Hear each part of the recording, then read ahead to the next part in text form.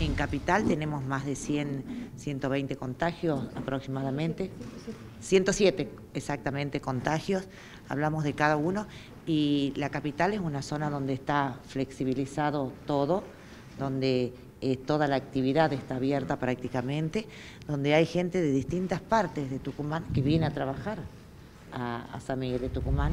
No hay un conglomerado en San Miguel de Tucumán en un lugar puntual. Hay familia en distintos lugares de la capital. La definición eh, epidemiológica de circulación viral comunitaria no podemos decir ahora que estamos ante esa situación, ya.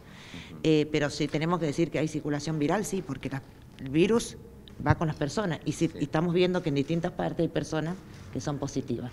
Eso habla de la circulación. No estamos hablando de la circulación viral comunitaria, que yo salgo y me puedo contagiar en el parque, por ejemplo, no.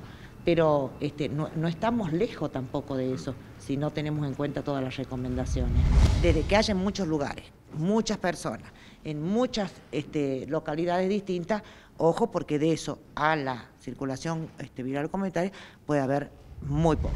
Siempre encontramos un nexo, pero hay muchas personas que se reunieron con muchas personas y estas a su vez con otras personas.